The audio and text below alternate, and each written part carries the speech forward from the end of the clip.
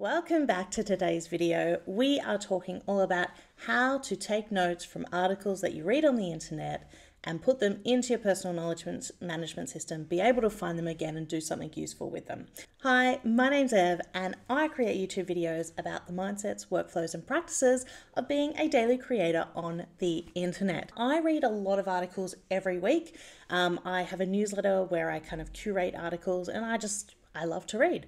Um, and, uh, and so, what I found is that on the internet, there's a lot of people who uh, clip articles into things like Instapaper and Pocket. We uh, clip a lot of things and then we never get to them and we never read them. So, this is how I, my process um, that I use to kind of like not fall into that black hole. All right, so let's first talk about how I actually get things into my system. I don't use services like Instapaper or Pocket. I know Readwise is building their own um, app as well. Uh, I like to have it in inside where I actually consume content, uh, which uh, is in Roam or in Notion or whatever other personal management system you use. So let's dive in and I'll show you how I actually clip content and then how that then goes through the whole process of actually reading it, taking some useful notes, and um, doing something with it. All right. So once I actually find an article that I want to clip, I just easily set up a template using Smart Blocks that looks a little something this one.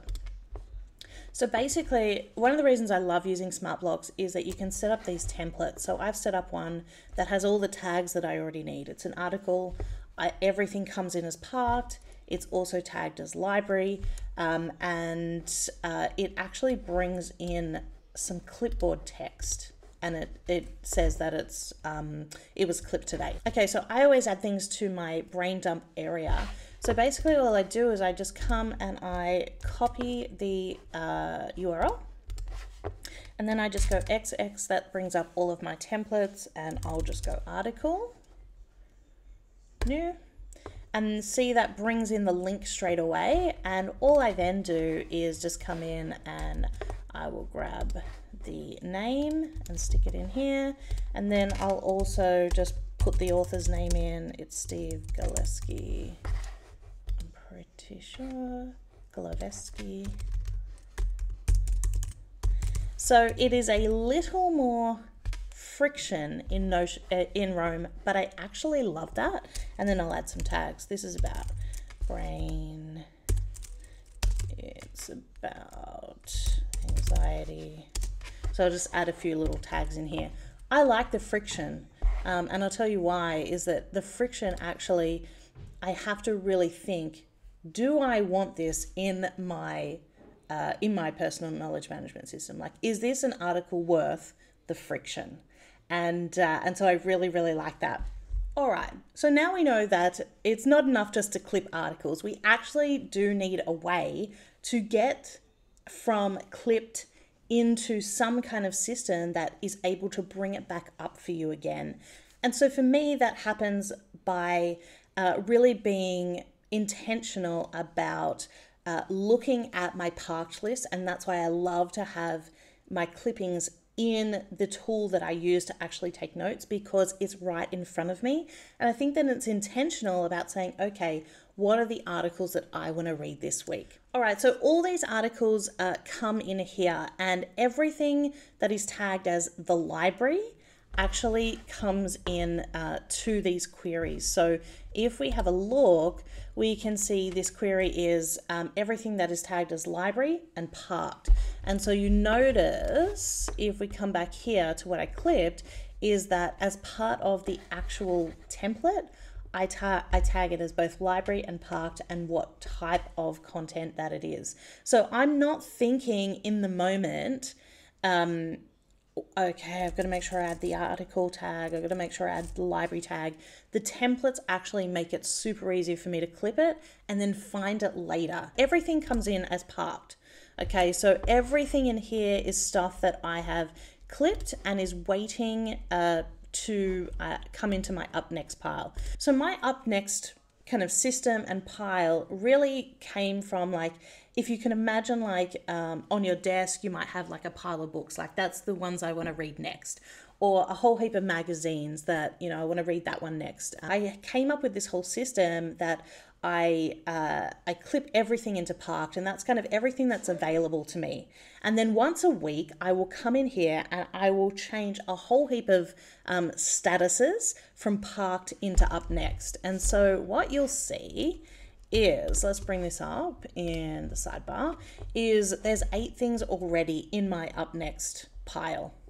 Um, and uh, and so when I go during the week uh, when I have some time to consume, rather than uh, rather than coming here into parked and having 42 different things and i'm like oh gosh what do i actually want to uh, want to consume i reduce the overwhelm by making a decision at the beginning of the week rather than trying to make a decision in the moment and so i'll literally come to my up next pile and i'll choose the next thing on the list and I'll open it up and I will start taking those notes. Okay.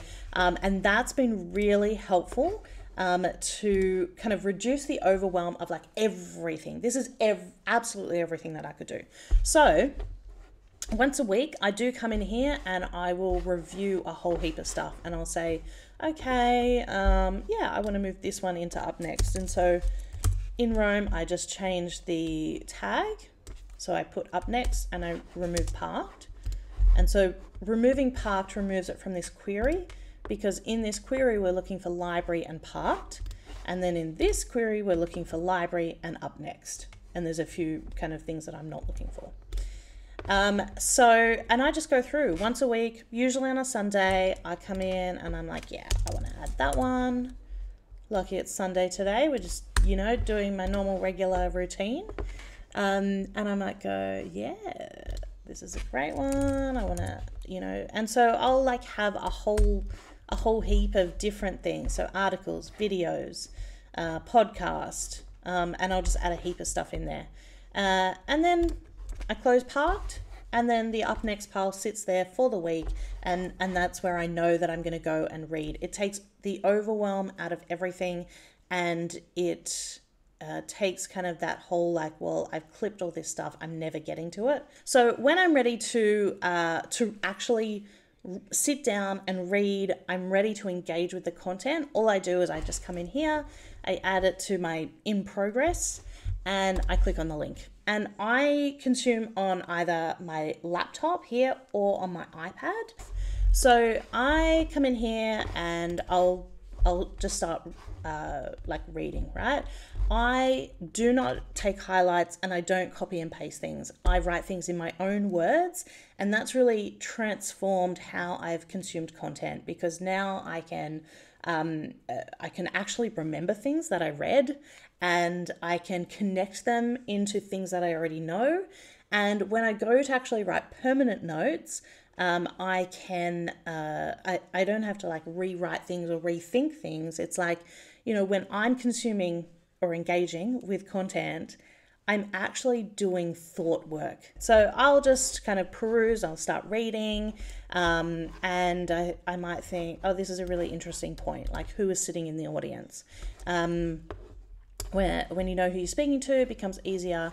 And so I might think, oh, okay, that's a great that's a great note. So I will come and I keep all of the notes on this uh, under the literature notes uh, heading and I have a little uh, template as well, which comes from SmartBlocks, which is called LitNote. And so all of my uh, literature notes that I write, so everything that I write from an article, I tag as LitNote, and then that then comes into um, a whole kind of processing um, uh, processing query that I can do later. And then I'll say, okay, that was really interesting. Um, like know who you're speaking to. And so I'll just write a quick note like it's best to know who you're speaking to when you're writing. It makes it infinitely easier to write. And that's it. I'll just keep writing a whole lot of notes on that. And once I have done that and I'm finished with this article, I will change it from uh, in progress. It'll get a tag of to process. and then the others will come out because it's no longer up next or in progress. And so then I'm done. And so I will just work through my up next pile exactly the same.